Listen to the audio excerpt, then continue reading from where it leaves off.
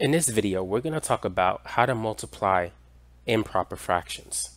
So just to recap, an improper fraction is a fraction where the numerator is equal to or greater than the denominator. To multiply two fractions, you need to simply multiply across. 6 times 8 is 48, 5 times 5 is 25.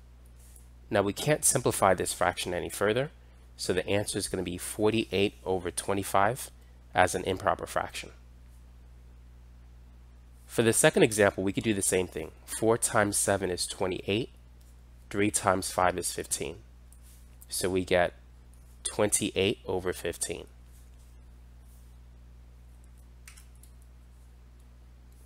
Go ahead and try these two examples. 9 over 5 times 2 over 3 and 8 over 5 times 15 over 4. So we can multiply across, but notice that 9 is divisible by 3. So what I'm going to do is I'm going to write 9 as 3 times 3 and 3 as 3 times 1. So we could cancel a 3 and then we can multiply across. 3 times 2 is 6. 5 times 1 is 5. So the answer is going to be 6 over 5.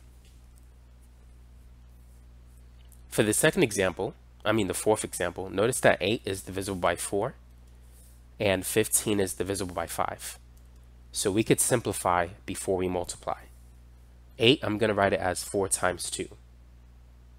5, I'm going to leave it as 5 times 1. 15, 5 times 3, and 4 as 4 times 1. So we could cancel a 4, and we could cancel a 5. So on top, I have 2 times 3, which is 6, and on the bottom, 1 times 1, which is 1. 6 divided by 1 is 6. So that's going to be the answer. So that's how you can multiply two improper fractions together.